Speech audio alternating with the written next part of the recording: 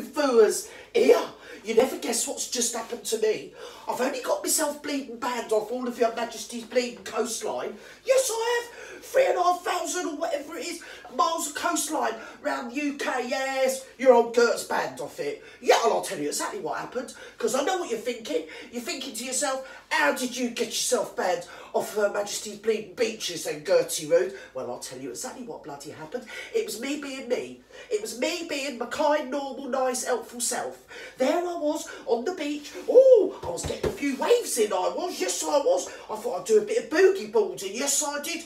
So anyway, there I was on the beach, and I see a chap in the distance with my sleepy eye, and I see the poor old mate struggling. He was struggling. He was. He was only a young slip of the thing. I mean, he must have been what, probably about fifty or something. I don't know. Anyway, there he was. He had his white stick. He had his towel, and he was struggling with his bleeding suntan lotion. So I got myself across to him, and I said to him, I said, "Excuse me, uh, do you mind, or would you like me to help you put some suntan lotion on you, sir?" He said, well, he said, I said, now listen, listen. I said to him, look, listen, it doesn't matter. It, it's, no, it's no problem. I don't mind helping you. So I started rubbing some suntan lotion on him and one thing and another. And I said to him, I said, well, you're going to have to move your bleeding towel because, well, I can't get all the lotion on you. Anyway, next thing you know, down the beach came three of them bleeding, what do you call them? I don't know what you call them in America and Australia, but in Britain they're called bleeding plastic policemen. You know, those PCOs that go around giving you banning orders and fines and one thing and another. They've come blobbing down the beach. They're probably just bloody jealous because I weren't rubbing bloody suntan lotion in their fat blubber. Anyway, they've come down the beach, they said, oh, they said, Mrs. Gertie Rood, that's it, you're going to have to be banned off the beaches because this is lewd behaviour, one thing and a bleeding another. I said, what do you mean lewd bleeding behaviour? I'm just helping him rub a bit of bleeding suntan lotion in. I said, you can see, it's not his fault, he can't see. He got a white bleeding stick. They said to me, they said, Gertie, they said, that ain't a stick. And there's families on the bloody beach, and they've all been ringing up and bloody, and bloody complaining about you, and a public order disgrace you're making of yourself. So that's me banned off the bloody beaches. Now, I'll tell you what, they're bloody lucky I even went back there.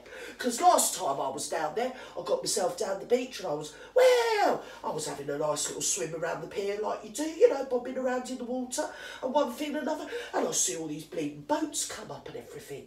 And then there was some helicopters flying overhead. I thought, what's bloody going on here? So I'm splashing around because I, I always wear my strong bloomers you know, because they're a bit of a buoyancy aid. I mean, push comes to shove, you know, float me back in and that. So there I was. I thought, what's going on? And I swear somebody had a bloody harpoon. Some of those bleeding boats, they were like that. It looked like they had a bloody harpoon. Either that or bleeding rifle, I don't know what it was. Anyway, I thought, right, I, was, I thought to myself, I'm bloody out of here. I'm not hanging around floating about in the bleeding sea like this because something's adrift here. Something's bloody going on. What's happening? So anyway, I got myself out of the water, dried myself down, got myself home.